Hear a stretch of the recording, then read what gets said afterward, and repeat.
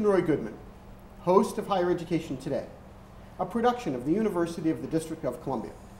Welcome back to the education program that connects you to contemporary issues, people, and institutions involved in the world of higher education. Today we'll be talking about art education and the visual arts.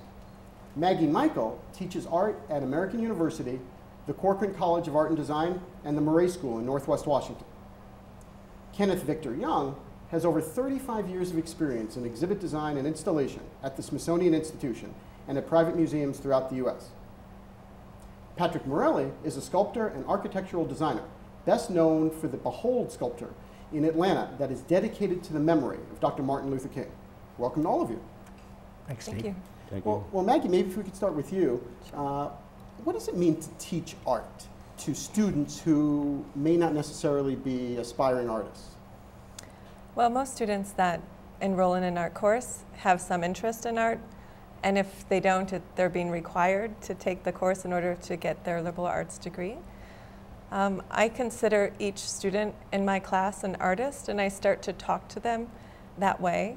Um, and once they start to identify themselves as potentially being an artist or having the possibility of that being true, they start to act um, like, like they could be. So they act like artists. Well, um, they take their, their class more seriously. Fair enough. And Ken, you've interacted with a number of students in, in, over the course of your career. How do you deal with students who are aspiring to be artists and, and how do you coach them along? Well, it's my belief that uh, interest is the primary beginning for being an artist. I don't believe everybody is an artist. I think you have to work at that. And uh, in the beginning, you need to know the basics and you need to know what to look for. To put it simply, you need to use your eyes. Most people don't see. They look, but they don't see. And one of the things about being an artist is the training itself teaches you how to see. Fair point. Well, Patrick, um, in terms of seeing, your work one can see very clearly because it's big. You produce these very big pieces of art. Do you agree with Ken in terms of seeing things, or do you see things kind of internally before you want the outside world to see them? Uh, for me, it seems that if I can imagine a piece, I can do it. And if I have difficulty imagining it, I can't do it. It's probably true in every endeavor, whether you're a scientist or whatever you are that you do in life. Uh, there's something about the human brain that likes to imagine and see before, before it does, and that's kind of the starting point. Well, I find your work, Patrick, to be very interesting because it's so big, physically big. Like the Behold piece in Atlanta is a very big piece. Yeah, 10 feet. How did you, what is it made of? Uh, it's made of bronze, uh, about a thousand pounds of bronze. It's on a granite base, which is 14,000 pounds. And it's a very difficult process, of course. It goes from clay to plaster to wax, and then ultimately to bronze. Uh, but the finished product, uh, hopefully, is beautiful and lasts forever. But how did you transport it to Atlanta? Uh, believe it or not, uh, I actually I had, had done a quarter million dollars of, uh, of fundraising for that project, for this piece look, look, overlooking Dr. King's tomb. And I had gone to all number of people looking for donations of time and services. I actually went to the Teamsters and said, this piece is being done at Modern Art Foundry in Long Island City. Will you transport it down to Atlanta? And the guy says, uh, are you a union member? And I said, well, I worked in a steel mill. I was a union member there. He said, okay. and he transported it down. There was tens of thousands of dollars uh, donated to that project. That's Wow. how it got down there. That's, that's an interesting story. Maggie, do you, now your, some of your pieces are different sizes. Yeah, um, I primarily make paintings. And I suppose what's quite different about making paintings and making sculptures, particularly in bronze, is that I have more freedom to um, not be so committed to what I might see in the beginning. So, where Patrick was talking about needing to know what he's making ahead of time, and of course also at quite um, material expenses, with painting, although you could argue that painting is its own expense, I have a lot more um, freedom to respond to what I'm doing and to react to the painting as it's being made. Um, so I don't, um, I don't necessarily see a painting ahead of time. I really work in the moment and respond to not just what I see, but what it is I'm surrounded by in terms of thinking. Um, like films, if I'm watching certain films or if I hear a certain program on NPR, um, those things start to inform some of the choices I may make. That's an interesting point. Ken, do you, do you kind of change your paintings as you're going as well? Uh, no, I don't change my paintings. Uh, in the beginning, when you're learning, you try to work to find a style, something that is uniquely yours. And in order to do this, you look at art history and you study artists from the past, and you try to find something that you like, and then you try to find out how it was made. Uh, I have been fortunate enough to work at the Smithsonian. I got to travel a lot, so a lot of the things that I saw in art history, and by the way, I'm still taking art history at at GW, a graduate course, uh, I've seen in person. People, I'm really fond of Italian artists. My work does not reflect that, but uh, Piero del Francesca and the like. And uh, it's also involved in, for me, science. I started out to be a physicist. And when I got to Washington, there was a thing called the Color School here and there was always there was a big movement in in art uh, where the color became the basis of the form, and uh, I got locked into that with uh, people who were here at this time, like Gene Davis and so forth and so on, and uh, tried to develop my own language in this style. Well, that's interesting, and you all reference that a little bit. Where how do you kind of learn from other artists, but then do your own style without copying another artist, but then having your own style? Is that to me? Okay. That's to all of you. Okay, I will respond to that. First, you have to figure out how, how what, what the artist did. How did he do it? How did he come about doing what he did? What were the materials used to achieve this point? And uh, once you do that, you can figure out how it fits to you, meaning your brain and uh, your hands and your kinesthetic senses and what you really see, you know. And uh, it also has to do with the product, art product at the time. You see, when this was coming along, there was a, a, a special paint called Magnum and Magnum was an acrylic paint that dissolved in water.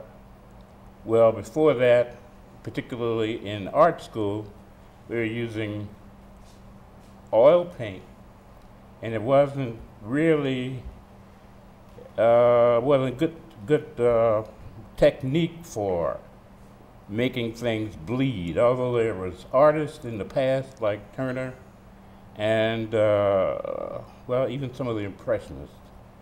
But then they would fatten up their paint. So it's all a technique. Fair enough. Maggie, did you have a thought or two about that? Well, I think style is a problematic word to use in terms of describing what artists do and what their work is. I think um, style is important, um, but in some ways, we have to think of our work as being independent of style and moving more towards creativity, if not innovation. Um, you know, we've all heard there's nothing new under the sun, and that's somewhat true. but I think there's a lot of experimentation that happens um, within an artist's lifetime and what he or she does. And I think people might move in and out of different kinds of styles that might be recognizable as parts of particular movements. Um, you know, it might be more fluxus, it might be more postmodern, it might be more abstract expressionist, it might be more medieval. you know, there's lots of different ways that we can categorize our work in a stylistic way, but I don't think artists necessarily think that they work in a style. I think they work to make work. That's a fair comment. And Patrick, do you have a thought or two? yeah, uh, uh, Maggie's absolutely right. Artists, I think, just work straight from their imagination. They, I think it's the academics that really start to categorize things, and that's both good and bad. It makes it more accessible to the public. By the same token, there's always seems to be a movement toward putting an artist in a certain niche, figurative, abstract, and whatever. And that's very limiting to, to an artist, uh, especially on the pragmatic end of it when reputations are, are shaped by what the academicians say their work is. And Maggie's right, there's nothing new under the sun. There's been abstract and realistic art since the Phoenicians and the Greeks and uh, caveman and so on. What is new in the world of art now is that uh, electronic media has entered the, the world of lasers and digital and, and, and forms that were out of, uh, that were, didn't exist uh, uh, before 40, 50 years ago. And I think we're seeing a lot of new, exciting, innovative things being done in those new media. Could you use a, a laser with with a big piece of sculpture? I use everything. I do every uh, style you might call of art, every medium except direct carved stone. So I do architectural design, I do bronze, I do uh, uh, giclées that I design on a computer that have never touched a piece of paper, and yet when they're blown up, they look, they look like very beautiful oil paintings. They will never approximate the Mona Lisa, but they are quite nice uh, works of fine art.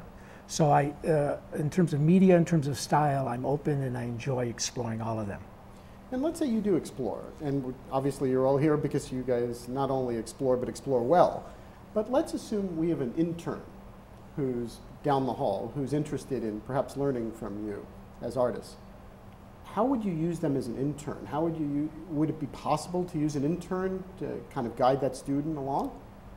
Just watch and learn. It's a visual medium an, an intern working with a good master sculptor, sculptress, uh, or a painter, um, but just by standing there watching the techniques that he or she uses, watching the way colors and forms fall in place, it's a very rapid learning technique, and this is what makes art so exciting. It's not limited to uh, highly structured technical education. If you get someone who is wants to be an artist and has great talent, just their observation alone, look at what Da Vinci did uh, or Michelangelo, I don't think they had an MFA in anything. I have a strange feeling they learned purely by observation. Well, speaking of the MFA, Maggie, you have an MFA and a Master's of Art, a Master of Arts. That's correct. Why do you have both? Well, I, um, as a young artist, I graduated with my Bachelor of Fine Arts degree from the University of Wisconsin in Milwaukee, a very strong program. And By the I, way, this is a shout out to Wisconsin, right? Oh yeah, I do love Milwaukee. it's true. Mm. Um, and then I moved to California, and in California, it was a job that was offered to me um, with a Bachelor of Fine Arts degree. Um, California allowed any person with a bachelor's degree of any kind to teach in the public schools. And so I began substitute teaching, and after I was doing this for some time, the district offered me a job. They said, We like what you're doing um, would you consider getting teaching credentials and get a Master um, of Arts in Education? And so, you know, I went through these steps and it was a really um, intense four years and I have no regrets. I learned so much. Um, I love learning about psychology. I love um, thinking about language acquisition. Um, California has a really interesting and diverse student population, adult population, I'm sure, as well, given their parents. Um, and it wasn't necessarily my end goal, though, to be an educator. I still considered myself an artist. And I knew that I would like to have an MFA because um, one reason people do get MFAs today is for the connections that they make within their program. So, um, for example, at American University, where I'm currently teaching in the MFA program, it also happens to be where I received my MFA 10 years ago. Um, they have a very strong visiting artist program. And this was a real draw for me. And I knew that if I attended this school, I would be able to interact not just with the professional artist professors on their faculty, but guest artists that were brought in throughout the semester three times, usually to critique, give lectures, and guide the young student artists um, with their practice. That's a good point you made, uh, Maggie, about uh, studying psychology and different disciplines. I think what I love most about the arts is they're not, it's not limited to art it takes in culture and history and mm-hmm. civil rights and human emotions and color and shape and form, and they're all integrated into a work of art, no matter what you do, painting, sculpture, whatever. And so you're mm-hmm. taking psychology very well lends itself to uh, your uh, your work as a as a painter. Mm-hmm. Well, let's take the broader issue of the outside world. Let's assume I really cared very, very much about climate change. And let's say I had your abilities, which I don't, for the record. You guys are terrific artists. But let's say I wanted to do a piece of art that somehow communicated my concern about climate change. How would you paint or do something in a way that doesn't hit me over the head with it, but yet still encourages me to think seriously about a topic? Well, there's several ways you can do that. You can, you can be an in, interactive artist like uh, James Smithson. You could build yourself a room and make the climate change and make you inside of that room and react to that.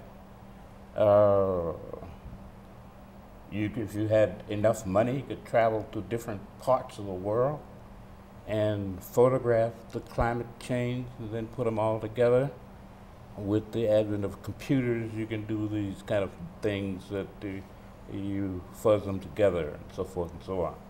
Well, that's one way to do it, but I don't know if you can really make people aware of climate change unless they experience it themselves. That's my feeling. Or if I can also add, you in the earlier part of the program, you spoke about um, being able to see and about the skill as an artist is learning how to see.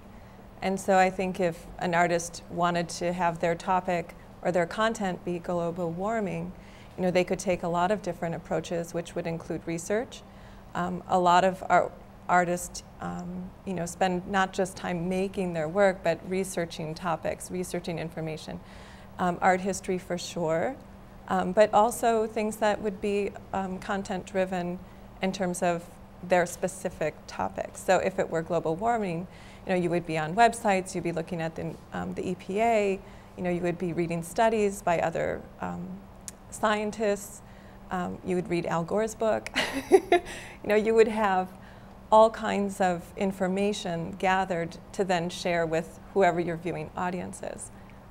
And I think the challenge, Maggie, always is when uh, uh, an artist tackles an issue or a cause uh, that the art becomes too preachy and it, it, it, it is not effective. And uh, I visited the Dr. King Monument yesterday uh, for the first time in Washington, Mm-hmm. magnificent piece. And there's a quote on the wall that Dr. King says that we prevent war not so much by avoiding war, but by learning to love peace. And if we want to preach, for example, or uh, stimulate uh, uh, uh, respect for ecology, we might try to create things that are so beautiful in, in the natural order of things that when we see things that are not beautiful, we feel very strongly against it. And so it's not, it's a very subtle, powerful way of communicating a, a, a topic or a cause. When I was in India, there were sculptures by Mahatma Gandhi, of Mahatma Gandhi and Martin Luther King. And uh, Gandhi said back in the late 40s that he had the answer to World War II, but nobody would listen. So I'm really talking about a philosophy that one would have and communicate to others. To do art is a communicative skill. You have to communicate. Like Dizzy Gillespie says, you know, you play in a room and nobody hears you. Are you still playing? Hmm. So you need an audience to capture that. The same is true with people who write books. They, if they don't have anybody to read them, then what is that? Well, who do you think your audience is for your pieces of work? My audience, it varies from, I don't know, specific types. Well, I think people who are looking at my work are looking for a specific thing that comes out of an idea that a whole bunch of artists were trying to develop to make it clear. So they're looking for that, like you would go and look for a Matisse or et cetera, et cetera. Uh, contrary to what you say, I believe that style is important. And everybody tries to develop this style. And I think that's true even down to the way one dresses, the way you look, What is your persona? How do people remember you as a person? It's the way you carry yourself. So all that's involved. I think um, to add to that, I, I understand what you're saying. And what I was describing about style earlier is not just style in terms of an appearance, but style in terms of a reason. Um, you know, why would you want to paint in a Matissean way? Or why would you want to bring back Dada with a found object on the table? Um, you know, what is the reason behind the style? And I think that's what's most important. Can we get back to the issue of the audience? Who, who, who do you think uh, is buying your pieces or looking at your pieces? Mm-hmm. Um, I happen to know a lot of the collectors of my work, um, which is wonderful. Um, it's especially, you know, great when a person that I know and like or love ends up acquiring a piece of mine because, um, you know, I like to know where my work is. Um, when my work is in public collections, it's a huge honor. I'm, you know, grateful that my work is being taken care of by the Smithsonian and the Corcoran, and, you know, it makes you um, just be so grateful for the people that believe enough in your work. Um, so I think the collectors of my work are um, often kind of your normal working Americans. I have a few international collectors, but predominantly American. And you know, they're professionals, they're mostly educated people, people with college degrees, not always. Um, and I would say they're probably middle class or upper, upper middle class. Although sometimes I, I do believe in trades, and so um, on occasion, uh, a friend and I may um, work out a certain kind of thing if somebody can't afford um, to buy the work. I've been trying to trade my work for Ferrari, but Ah. I have not been successful so far, but I keep trying. Try a Jaguar. Jaguar might work, yes. But your work is, is, is big. I mean, how, how can an individual acquire some of your work? Well, uh, believe it or not, it's also available in collector's editions. I'm very, very lucky that I have uh, a lot of people who, like Maggie, believe in my work and so on, and uh, everything from uh, the estates of Coretta King and Alex Haley and David Wolper, the Roots producer, to um, a piece La Bellissima America uh, uh, that is in the chambers of the Supreme Court. Justice Alito had invited me down there to see it when next time I was in town, and that letter lay on my desk for a couple of years. And then I finally went to the Supreme Court, and I walked into this imposing building, and I walked into his chambers, and there it is, sitting in front. And the secretary called out the the Supreme Court justice, and out came the Supreme Court justice, and I looked at him, not exactly tongue-tied, but I didn't know what to call him. Mr., Sam, Your Highness, I don't know what it was, but it was obviously quite a thrill. Mr. Justice. The Honorable. the Honorable, right. Well, this is interesting because your, int- your art is really affecting, all of your art is affecting a lot of people who are decision makers. And I assume you want that to happen in some way. Yeah, but decision makers in the very broadest definition, not just people, uh, not the Supreme Court justice, but mothers and fathers who have very, very high regard for their children, people who care about race and ethnicity and the true spirit of what Dr. King just uh, preached and so on. I want my work to reach all of those people, and judging by the placement of the big public pieces and the response I get from emails and collectors and so on, it crosses all cultures both genders, all races, all ethnicities. Behold, believe it or not, even though it's a 10 foot piece inspired by the baptism scene in Roots, gets as much uh, inspirational response from uh, Caucasians, uh, Hispanic, uh, Americans, foreign, and so on, as well as the Eagle Rock September 11th Memorial, same thing. And touching on that point about an issue or, or when an artist deals with an issue or a cause, quite obviously, I'm concerned about the fair representation of ethnicity and race in, in sculpture in American mass media. When I did the Eagle Rock September 11th memorial, I incorporated a figure of an African American holding a lantern toward the former site of the Twin Towers, because this overlooks the Twin Towers. Word got out that why was I doing a black figure for a 9 11 memorial? And it was really quite interesting, the furor it, it, it caused uh, uh, on, that, on that issue. And, I, and they said, why a black person? I said, well, why not? Does a black sculpture only have to be incorporated in a slave memorial or civil rights? Uh, why is it always a Caucasian man riding on a horse with a sword in the park? Uh, when a young black child goes out into the world, I always say, we only know what we see. When the black child goes out into the world and he sees all sculpture is Caucasian or definitely not black, what does he say about himself, no matter what you preach? Now, people can walk to that memorial and say to themselves, I am integrated into the mainstream of, of America. Where was this memorial? It's at uh, West Orange, New Jersey, overlooking the former site of the Twin Towers. Mm-hmm. It was the first of the major memorials dedicated in, uh, on September, uh, on October 20th, 2002, one year after 9 11. And it's the uh, only one that I know of that includes all 3,000 names of the home and hometowns or foreign countries of the Twin Towers, Pentagon, and four airline flights. It's not now up for National Historic Site status. But that one piece called Remem- Remembrance and Re- Rebirth, I had U.S. senators coming to my studio looking at this piece, and they said, Well, this is a good thing.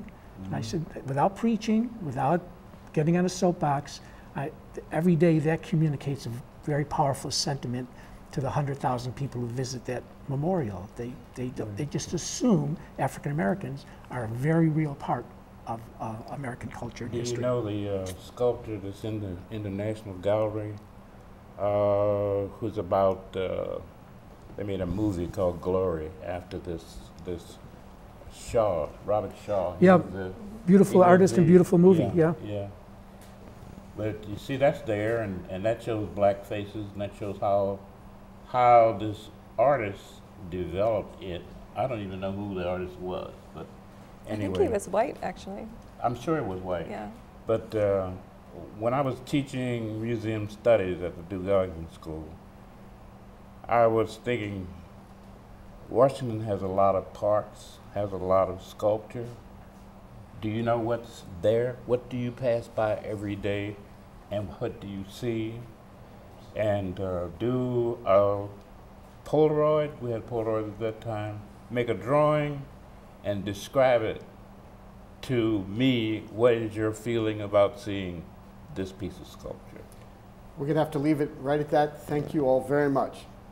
Thanks, If you Steve. would like additional information about Maggie Michael, Ken Young, or Patrick Morelli, please visit gfineartdc.com,